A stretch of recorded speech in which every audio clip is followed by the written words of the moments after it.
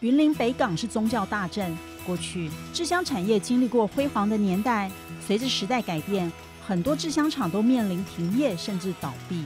北港镇返乡青年李建杰，因为舍不得家中的老字号制香厂无人传承，几年前放弃国外的工作返乡，希望可以为这个夕阳产业重新燃起生机。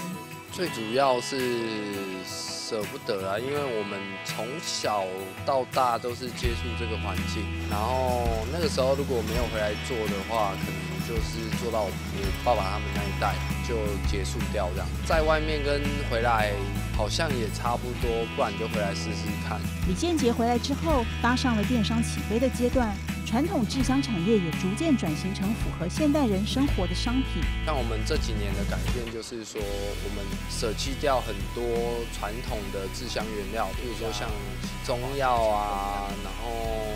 香精等等这些，我们反而改用比较纯天然的木头原木去做味道比较清淡一点的香品，搭配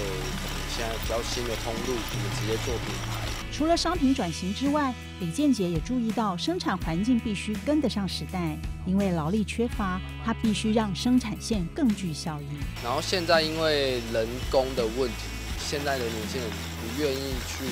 做那样子的工作，啊，那个环境也蛮糟糕的啊，所以现在我们都改用就是半自动机械，就是把原料配好之后，经过